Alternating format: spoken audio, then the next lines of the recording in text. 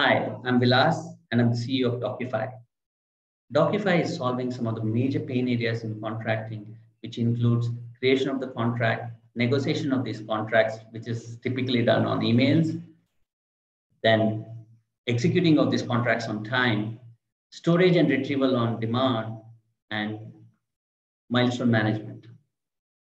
Beyond all this, many countries insist on the local law compliances to ensure that the contracts are valid. Doqfy all this, does all this and more and ensures that the movement into the Doqfy environment is so effortless that customers use Doqfy to achieve their contracting objectives. We have seen significant growth in revenues, which is testimony to the fact that we have uh, customers that use our platform so, so efficiently that we were doing about $7,000 last year, January, and come this year, it'll be over $70,000 a month. We've raised about $300,000 so far, which has fueled this growth.